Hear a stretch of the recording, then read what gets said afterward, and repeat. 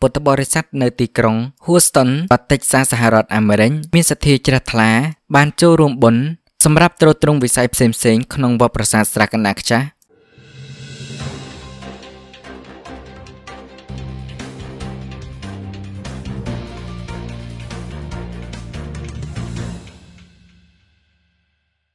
លោកអ្នកសប្បុរសជាទីមេត្រី វិស័យផ្សេងផ្សេងក្នុងវត្តប្រាសាទស្រះកណ្ដាលខ្ចាស់មានជាអាចវិស័យអប់រំវិស័យផ្សព្វផ្សាយប្រធរនិងវិស័យកសាងអាចដំណើរការបានព្រោះអាស្រ័យទឹកចិត្តនិងសទ្ធាជ្រះថ្លារបស់ពុទ្ធបរិស័ទគ្រប់មជ្ឈដ្ឋាន ដែលឡាយកាលពីថ្ងៃសុក្រកើនអាចជាឆ្នាំឆ្លូវត្រីស័ក ពុទ្ធសករាជ2565ត្រូវនៅថ្ងៃទី21ខែឧសភាឆ្នាំ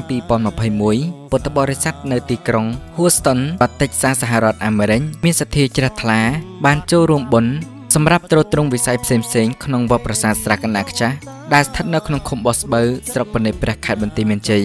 នៅក្នុងរដ្ឋដដែលនេះធម្មាលង្ការមនីច័ន្ទសុជន ដែលជាព្រះគ្រូចាធិការវ័នបាននិមន្តទៅទេសនាក្នុងពិធីប្រគេនផាត់ចំពោះព្រះសង្ឃផងដែរ ដោយមើលឃើញការពីក្នុងកម្មវិធីបុណ្យធំធំនានា មានបុណ្យកឋិនទាននាពេលកន្លងមកនេះគ្មានកន្លែងសម្រាប់ចតរថយន្តព្រះអង្គគ្រូក៏បានសម្រេចប្រតិយកសាងនៅចំណតរថយន្តនេះឡើងដើម្បីសម្រួលដល់ពុទ្ធបរិស័ទដែលបានអញ្ជើញមកដល់វត្តប្រសិនបើសាធុសប្បុរសពុទ្ធបរិស័ទប្រុសស្រីក្នុងនិងក្រៅប្រទេសមានសទ្ធាជ្រះថ្លា ចូលរួមជាវដី1ការ៉េមានតម្លៃ6000រៀលស្មើនឹង1ដុល្លារ5កាក់និងចូលរួមចាក់ដី1ឡានតម្លៃ25000រៀលស្មើនឹង6ដុល្លារ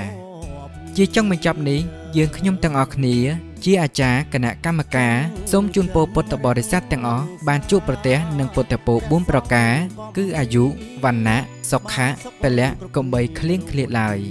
សុខោបញ្ញសៈអុជយោ ការសន្សំបុណ្យរមែងនាំមកនៅសេចក្តីសុខសូមអរព្រះគុណនិងសូមអរគុណ